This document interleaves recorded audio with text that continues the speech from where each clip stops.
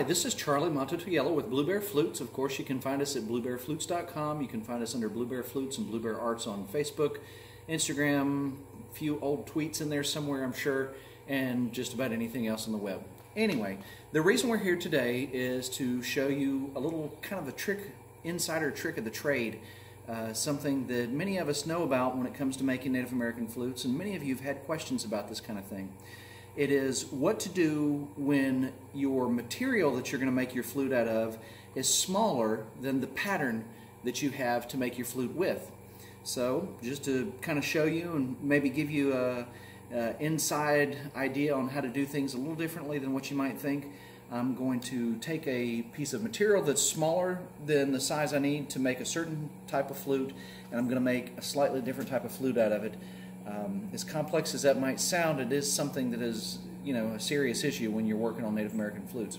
Now, having said this, uh, what I'm going to be using is, of course, one of the patterns out of our book, The Art of Native American Flute Making, and uh, there are just countless schematics in the back for making just about every kind of flute that we make today, um, plus uh, schematics on making a like a walking stick flute, uh, even making one out of PVC if you like, and eagle whistles that we uh, we offer for selling on our website alike. Some of that stuff uh, is you know pretty valuable information in here in our book. Also, the measurements are in standard and metric for those of you that you know want to have the convenience of having both at your fingertips. Uh, you guys know me in the shop in here. I usually use uh, just about everything, so my most of my rulers are standard and metric, unless they're just really cheap and I needed a cheap ruler. Uh, having said that, uh, let's see, I'm going to try to follow that pattern and give you guys measurements in standard and metric. If you know me, like I was beginning to say, um, I actually use standard measurements for certain sizes and measure, uh, metric measurements for different sizes. It's much more convenient for me that way. Most everything here in the United States is measured by inches. Uh, we're still under the old, uh, you know, English system, and um, the metric system is convenient so many so many ways, uh, especially when it comes to millimeters, which is what I use it for. So, having said that, let's go ahead and begin. What I have done is I've grabbed a piece of river cane. Now, of course, your material could be just about anything. You could have a cardboard wrapping paper tube. I don't know if any of you have seen that video, but it's worth looking up. Go back to our Blue Bear Flutes uh, YouTube channel by clicking on the little link to our Blue Bear Flutes there and go back to uh, Christmas a few years back and you'll see a video on me making a flute out of a cardboard uh, Christmas wrapping paper tube and it plays great. It's a really beautiful sounding flute and that's just an idea. You can use any kind of material to make flutes with, anything that's hollow uh, and round already makes it even easier. You don't have to use hollow or round as you'll see in some of our upcoming videos.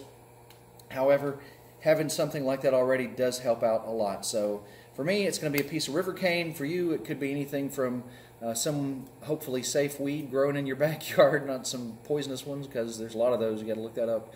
Uh, or maybe a hollow uh, piece of wood that you found somewhere that's already hollow, or cardboard. So uh, this right here is going to be my material for use, and I've already measured it. I really wanted to make an E flute, but this piece here, I measured it to see if it was long enough it's about 16 inches long, if you'll notice, and when I say long, I mean from the edge of the partition here down to the bottom of the flute, and I needed something that was 17 inches long. So really, this would probably make a like a, a sharp E, but excuse me, yeah, this is recorded live. anyway, I would uh, want to make a Sharpie, anyway, um, I would want to make a Sharpie, but I'm thinking about making something a little bit sharper than that, just to get it kind of in tune and make it a little bit better sounding because nobody really plays a sharp E flute. Anyway, uh, might be a good video one day, you know what I'm saying? But uh, so I'm going to use the pattern for our E flute, and if you want to take a look in here, I've marked our page. I think I can show you right over here. Mark down. So here is the E flute. This is the standard side. Of course, you can look over here and see uh, more of the metricish uh, for other things. Anyway, we're focused on this. The E flute needs a 7 8 inch bore and roughly quarter inch holes. At least that's where you want to start off at. quarter inch is going to be this roughly size of the sound hole as well as the size of each of the fingerings. And then, of course, you'll need to attune accordingly. But uh, from the edge of the sound hole here to the first fingering is going to be, for the E flute, six and a quarter inches. Then for the next fingering is seven and an eighth inch. Uh, then we have eight and seven eighths, ten and an eighth, and 11 and an eighth for the last fingering, and then roughly 17 inches long, which of course we already know we can't make this flute 17 inches long. There's a few different directions we could go with this, but I'm going to show you the one that, uh, that follows this particular mindset. Of course, those of you have watched other videos that we've made in the past, it is possible to take a pattern for this E flute and make it 16 inches long and put a plug in the end of it. Uh, if you restrict the size of the inside diameter of the flute uh, so that it's smaller, it will actually cause the tone to go lower. And in that particular way, all you would have to do is use the same exact fingerings where they're at, put a plug in the bottom of it as long as it's not much smaller than, say, uh, two inches shorter than the pattern. Usually you can make this happen. Uh, that doesn't make the most perfect sounding flute, it, to my ears, however, it does make a good sounding flute, and you could you could go that direction. That, once again, is something we've done in the previous video. This is going to be something where I'm going to show you basically how to figure out your own pattern. And that is, like I said, valuable information when you're making a lot of flutes. Or if you're making flutes out of natural materials, or maybe even a branch flute, if you're trying to make one of those and it's a little shorter, but you really like the piece of wood, you want to use it to make something close to this range but you don't have an exact pattern to follow. Okay, so just to show you what we're going to do, I'll go ahead and mark these um, fingering placements on this wooden ruler. Uh, like I say, very handy to have these wooden rulers. They're semi-disposable, can be used for a number of things other than a ruler. Let's start off at the first fingering is six and a quarter, which is super easy to figure out. A quarter is right there. And then we got seven and an eighth, which is right there. Once again, these fingerings are thereabouts. And then we have 8 and 7 eighths, which is from over here, right about there. Okay. Then we go down a little further to 10 and an eighth, which is right about here. And then we got 11 and an eighth, is right about there. Okay, so what I've done is I've marked the placement of the fingerings for our E flute. Of course, many of you realize you could make an F sharp out of this and you could just follow the pattern, but um, F sharps don't always come out precisely unless you use the exact same size inner diameter. And if your material is a little larger, a little smaller, you know, there's, there's a reason why you want to do this. So let's set this book down for just a second. And now with my marked fingerings here for an E flute, we're going to call this a quotation mark E because it's not going to be an E because it's simply too short. And I'm going to pick the best side of my river cane. I know y'all have seen me make cane flutes before. I'm going to hold that right there. I guess I could hold it on this other side. Might line those holes up a little bit better. Yep. Okay. And what I could do is mark it exactly as it is and then make these holes just, it's going to wind up making them huge because um, we're using a piece of material here, the river cane, being shorter than the, the 17 inches that we usually say to make an E flute with. Um, it's going to make these holes actually quite large to be able to get them in tune. So this is what we're going to do. Some of my friends, other flute makers that I've known for a while, use a rubber band technique. The reason I don't use that rubber band technique because it's not as accurate as my precise measurements here. So I like to kind of take a little of the guesswork. Can't take all the guesswork out, but you can take a little of it out, which really helps. What we're going to do is we're going to take this pattern and slide it upward, just like that.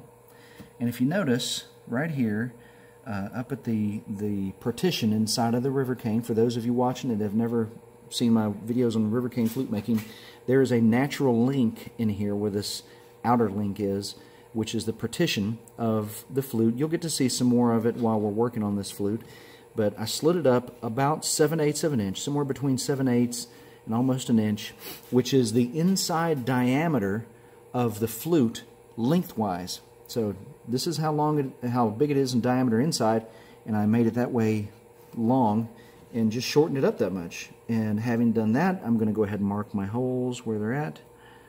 And we'll see if we can't work some magic on this guy here with tuning. And now, if you look at it, I'll show you how this guy here looks. You, uh, you can see that the space up here is now shorter than the space down here. And in most cases, that's what it takes to make a, a good sounding flute. Um, you know, in this particular type, you want the distance between the sound hole up here or the partition um, and the first fingering to be a shorter distance than the distance down here. Usually. That's if it's a mid-range flute. So there's so many if, ands, or buts. However, like I say, this will at least give you kind of a head start on figuring out how to come up with your own flute patterns. If you need something that's, say, for example, in the key of E flat, what would you do? Well, if this was at least 18 or 19 inches long, all you would do is take that same E pattern that I just marked on this ruler, and you would slide it down the length of the inside diameter's width of the flute. So if the inside diameter is 7 eighths of an inch in diameter, you would slide it down 7 eighths of an inch, and that's going to give you roughly an E flat, supposing the length of your flute will support it. I say 18, 19 inches to be on the safe side, then you can cut it off to an E flat, then your fingerings will be perfectly where they belong. In this case, we've already got a piece of material that's 16 inches long from the pattern, uh, normal pattern uh, partition area down to the bottom, and because it's too short, I slid it upward because we're going to make a virtually traditionally tuned flute. It's going to be close to an F sharp, I'm imagining. Um, and we're going to do that with this E flute pattern. So this works with all different flute patterns. You know, if you need to make one um, that is going to be lower, for example. A lot of you have seen my video on making a low bass A flute. And uh, the one thing that I'll tell you about that uh, with making the larger diameter lower tone flutes is once you get past, say, a low D flute, you can actually use the D flute pattern that's in my book to make a low C, a low B, a low A, so long as you know one little trick, and that is, um, so you have your fingerings, you want to, once again, stretch it down the length of the inside diameter per half step that you want to lower the flute. Um, keeping in mind that when flutes get to a certain bore, say for example inch or inch and an eighth, inch and a quarter, um, that will only support a certain tone flute. You need really about a almost a two inch bore to make a low bass A flute. Um, but you can slide the pattern down and mark your holes um, using using the same technique like I mentioned that you know you basically measure the inside diameter and length, and that's a half step, and another half step makes a whole step, and another half step, and so on and so on and so on. Like I said, you have to experiment with this to really get, get the hang of it.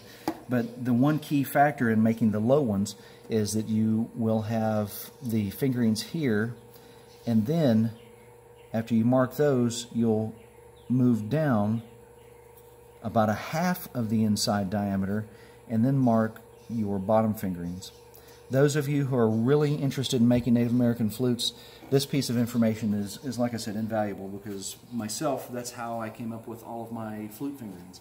It's allowed me to make uh, low D flutes nowadays with 5 16 diameter holes. And uh, for people that have smaller hands, being able to play a flute with smaller fingerings that are close enough together that their fingers will match uh, the holes without stretching out really, really out of place. Um, and being able to cover the holes with your fingerings uh, your fingers if they're smaller than you know say a medium-sized hand that's that's invaluable information. So once again little info. Like I say something I just wanted to help you out with. I know a lot of you probably rewind that last part a little bit but basically when you when you have a larger length flute the distance between these top two holes and the bottom three holes are usually um, about a half of diameter um, longer per you know, I guess about a whole step of flute. So anyway, that part gets kind of confusing, and uh, some of you who are into making low flutes, you probably know what I'm talking about. Let's go over and drill this so I can stop talking for a minute and see if we can't get it. Okay, so I'm going to go ahead and drill out the area for the sound hole, and then the fingerings, and then we'll uh, we'll auger this down and kind of go make it play.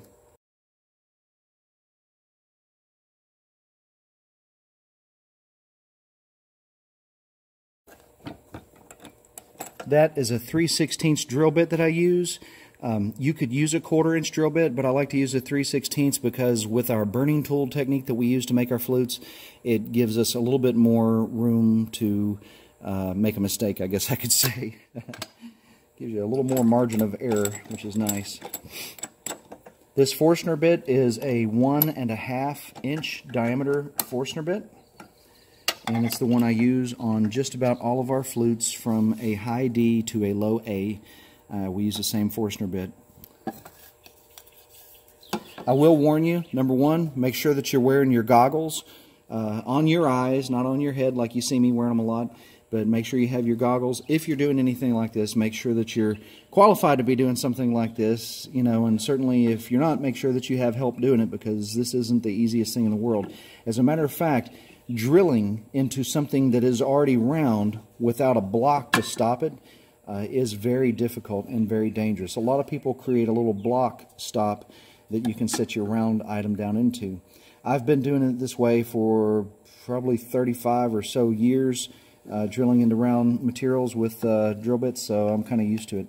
What I'm going to do is I'm going to line the edge of this Forstner bit up with the back edge of this hole and that will give me a nice flat surface that we can put our our uh, block on top of and put our track into to make it play. So if you'll watch, this is actually the trickiest part of, of this process and uh, it's one where we have to be careful not to go too deep because it'll tear the river cane up.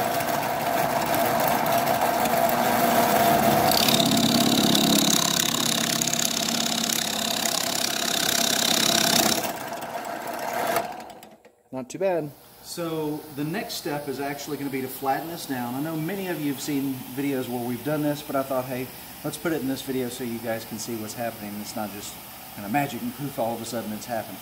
Um, we augered it down. I did go ahead and sand this area with a little bit of a kind of a slope on it there as you see. It helps the air to go across the sound hole better once we make it. And I went ahead and sounded my mouthpiece so that it was nice and smooth and cleaned it up a little bit with some steel wool, which I'll do better in just a moment. See how nice that, that looks after you've done that? Uh, just basically taking the, the debris off the outside of the river cane because whether it's from being handled or the muddy swamp that I pulled out of, uh, it's got something on it. So uh, first we will use this tool here. I'm testing to make sure it's not too hot to hold. And then just basically flattening down.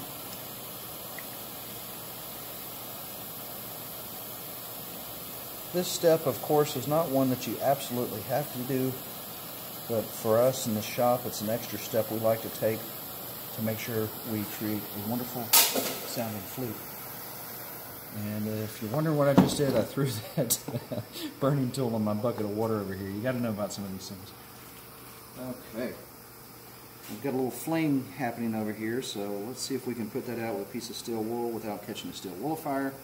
That doesn't work, piece of fabric always works. Just trying to smother that ember. There we go.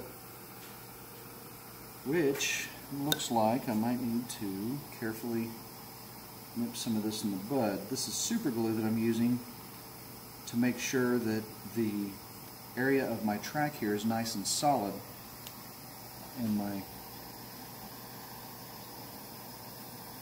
area where the block is going to sit sometimes when it embers up like that and starts burning, it's, it's a sign that it's a little thin. So we'll be careful from this point forward. Here's one of my track tools.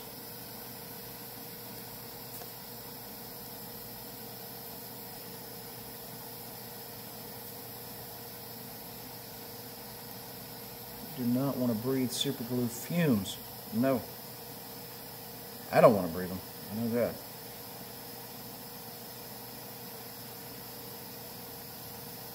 Okay, that one will have to wait till it heats up again. This is starting to ember up here too, so I'm going to grab a file, see if I can't put some of that fire out. There we go. Some the debris off this thing. There we go, that's better. While we're waiting for this rod here to heat up to burn the track in it, I'm going to use this other rod to just make some starter holes, which will be, you know, the ones that I drilled here. We're going to burn them out to about a quarter of an inch as per my book schematics. This is a 5 16 burning rod. It is tapered such that though it starts at the beginning of about 3 16 goes to a quarter pretty abruptly, and then most importantly has sizes between a quarter and 5 16 which is kind of typical.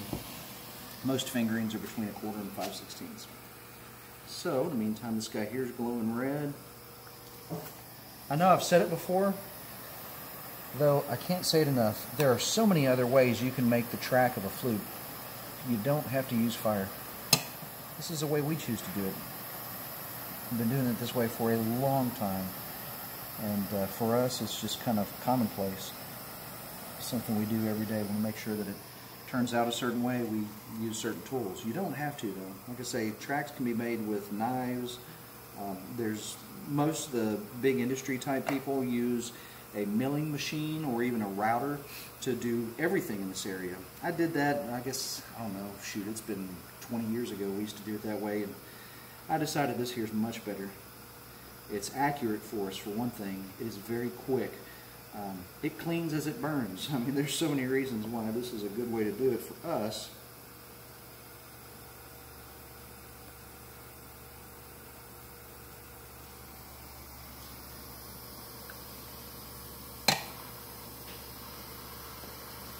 really helps to have a nice, sharp, I say sharp, very cleaned off um, track tool with the sharp edges of it so that they make a perfect straight line and perfect groove in there. So you can kind of see. I'll come back with my file and clean it up a little bit. It's not bad.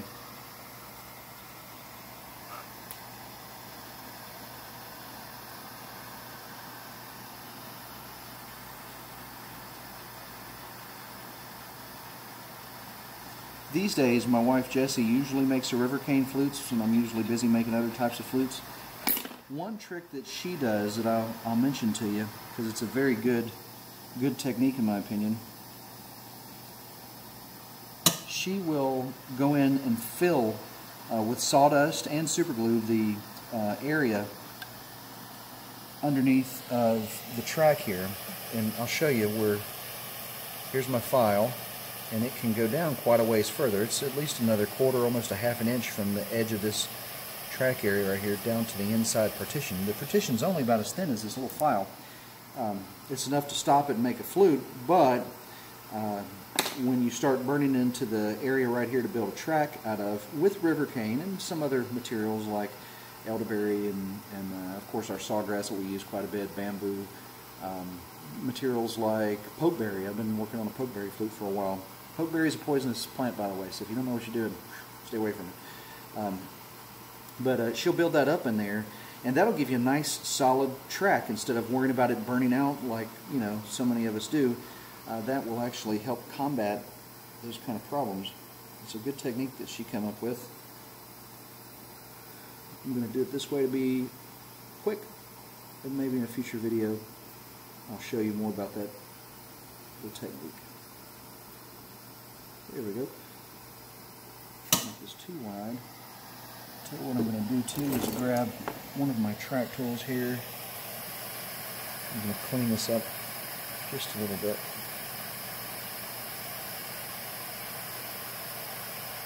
This hobby knife right here we use on some of the tracks to clean this wall up like that. You basically want to be sure that your sound hole width is the same as your track width. It's better to have a slightly wider track than a narrower track, one that's narrower than the size of your sound hole. It's probably best to have them as close to perfect as as possible, have them about the same width. But if one has to be bigger than the other, it's better to make the track just a little bit wider than the sound hole. From the fire, from the heat, I have a small crack. I don't know if you can see it forming right there. What I'm going to do, as with any woodworking project, use just a drop of good old super glue, and that's going to stop it in its place so that it doesn't travel on. You should never touch this stuff with your skin. never do that. It's a bad idea. And just as a last little precaution, I'm going to go ahead and clean these walls up with my fire. Just like that. And get a little fire starting to burn off too much in there, but I think we've got to the end of that we no longer need to burn track area. I think we're good there. You can of course clean it up a little bit more with a file. Honestly, the file itself is not what I'm using so much as I'm using the edge of the file. The edge of the file is not really a file, it's just like a little flat edge. You could use a just a really sharp little piece of metal to do this. We used to use a uh, X-Acto knife to do this, or a hobby knife. Not naming any names here. we used to do that, and then uh, a friend of mine turned me on to using um, a chisel, and a chisel works great too, and you can sharpen a chisel as well. See, I'm going to take this tool off, put it in my bucket, and then put my bear tool up here because I have a feeling I'm going to want to put this bear on this. And let's see where we're at here. I could go ahead and put my block on It might be just a pinch too long. Let me go sand it off real quick. I'll be right back. So I cut my block out of a piece of river cane. As you can see, it's just a sliver off the side of it. And I've got it so that it's about the edge of the back edge of the sound hole is where it stops. So I've made it a little bit slanted right there and just kind of rounded it off some to make sure that it plays properly. I use a squeezy clamp to hold this thing in place while I test it.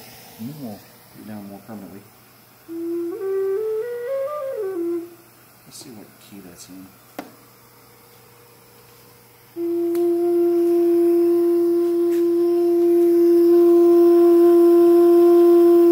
So it's almost a perfect F. I may even tune this thing to F just to, to get it uh, close, but for right now, let's do it traditionally tuned so I can hear what it's going to sound like. And of course, if you decide you do want to tune it to F, I think you can find this chart on our webpage where you can uh, go to our info page down at the bottom is a list of all the minor pentatonic scales and just use the F. F is not a, scale that I make a whole lot of. I think I've made one F flute in the last year, make a lot of F sharps, make thousands of those, but, but maybe one F flute upon request from a customer. Um, and uh, it's just not a real common minor scale. However, it does sound good. I will admit that it sounds good. And that note's almost a G, which is supposed to be a G sharp for an F scale. But like I said, we're trying to tune this by ear. That note sounds pretty good. Just a little bit flat.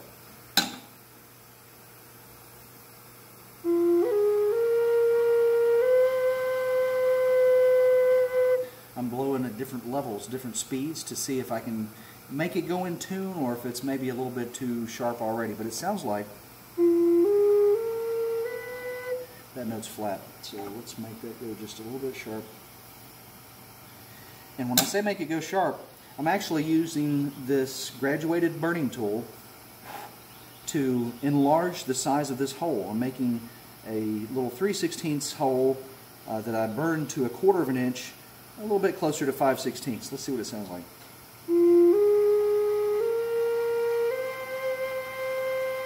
Much better. It kind of fluctuates between flat and sharp there. It's not bad.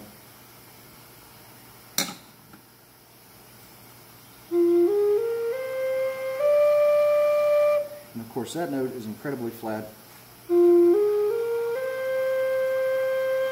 If I was making a F flute, going by this right here, the second from the last note would be a C. So, and uh, that one kind of makes my ears hurt. so, uh, let's put it a little bit closer in tune.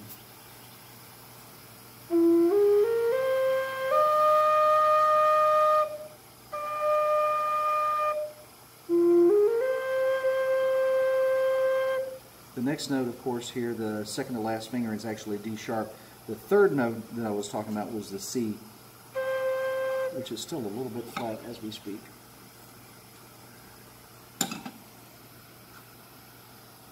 Let's see.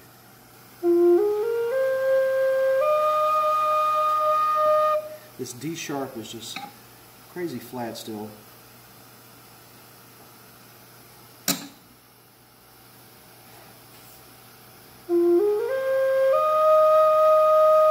That's really close, but not exactly where I want it, so I'm going to make it just a little bit bigger. One thing I will warn you, prying a tool inside of a piece of river cane, whether the tool is hot or not, is a bad idea. Um, a lot of times if you pry inside of this round material, it's got a lot of tension on it, and you just go pop right open. So don't do that. I'm doing it very gently, and Sounds good up until this uh, extra F here that is a little bit on the flat side, so I'm going to burn the hole out larger. Larger hole brings it closer to in tune.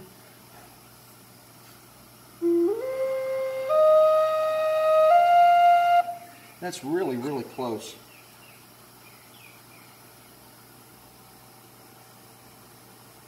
Just being extremely gentle with that burning rod in there.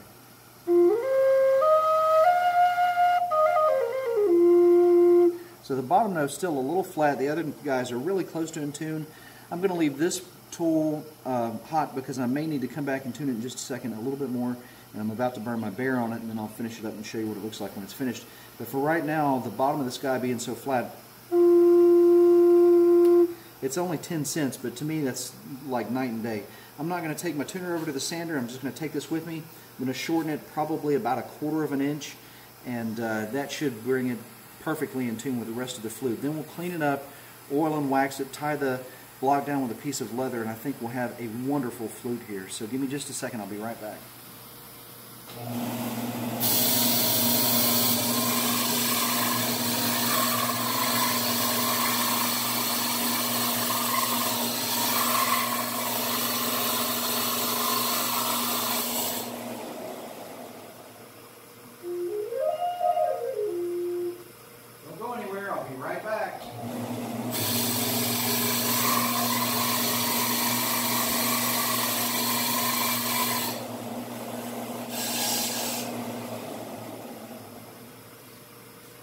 Okay, so I thought let you guys know that I was doing this by ear, I'll leave my tuner over here while we recorded it. So at the last moment we said, wait a minute, let's do that and turn the video back on and, and uh, here we are. Anyway.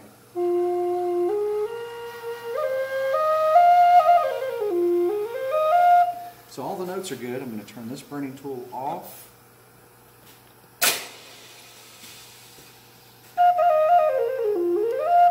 And for the time being, take this block off so that I can clean it a little bit up here around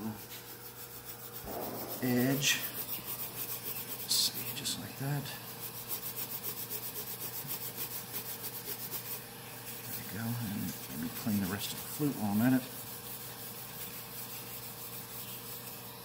Truthfully, you could probably keep buffing this thing with a piece of fine steel wool and come out with a really shiny instrument. I like just cleaning it off a little bit. I'll come back with my oil and wax and get that down to where I need it. I think that's not bad. A little bit of debris in here I probably should blow out with my air compressor. Let's see. Putting a little bear stamp on here. There we go.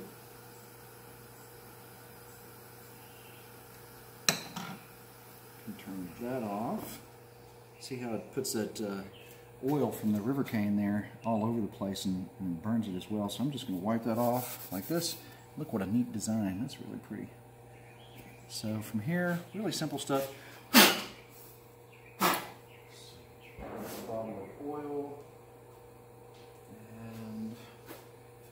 just drip the oil in there as I turn it around circles a little bit. A little bit extra. Let's see where we're at. Go inside, going inside. I did clean the inside of this out a little bit with my burning rod, or with my uh, cleaning rod a little bit ago. So, should be a little bit better there. I like to tilt it back until I can see the oil run out the track here just a little bit. It usually tells me that I've done it enough. Not quite enough oil in there yet. This takes quite a bit of oil. Is that my kitty? Hey, Ronald. Come here, kitty kitty. Well, Ronald came up here to inspect the shop. What are you doing, kitty? How's everything looking here today, bud? Looks like a mess, doesn't it?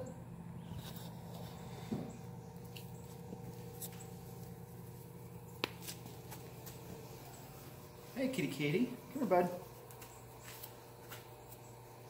You want to come sit over here and watch me make a flute? Maybe. Let's see. Ronald's about a friendly little kitty, isn't he? Next, we'll take some of our bear fat here that we make in our crock pot. We always have that guy going, and I'm going to wipe the outside of this flute, and I'm going to wipe it with my cleaning rag, tie the block down, and we will be good to go.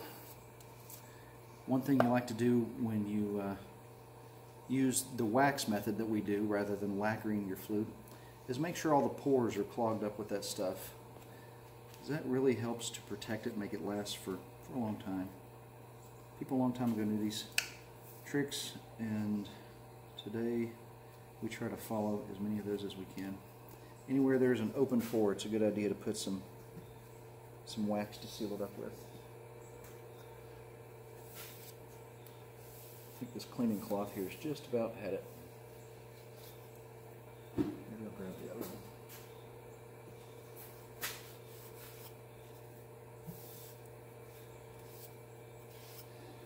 Hey, Ron. Let's see what's going on, buddy. You're just a big old kitty cat, aren't you? You're gonna get dirty in this sawdusty shop. So, let's see where we're at. I'm gonna grab some leather here, and we are just about finished with this flute. I did promise myself one day I would teach y'all how to use this. I'm going to have a separate video for it. This is a little plastic leather lace cutting tool. We make all of our lace here in the shop. We take a piece of leather like this and uh, basically using the lace cutter, this technique is one that I've been doing all of my life. I make it look a lot easier than I'm, I'm told that it really is. Because this lace cutter here does take a little bit of practice. in uh, learning how to do that. Hey, Ron. So, I promise there will be an upcoming video on how to make leather lace with one of those, and I'll tell you where you can get them at.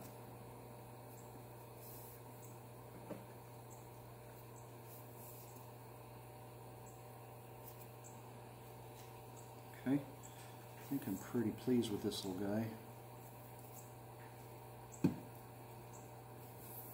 Got some oil dripping down there, huh, Ron?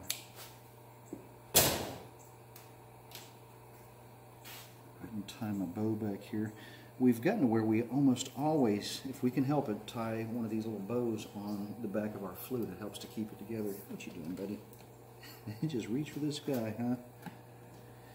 Anyway, so there is our flute. Let's see if I've got too much oil in the track area.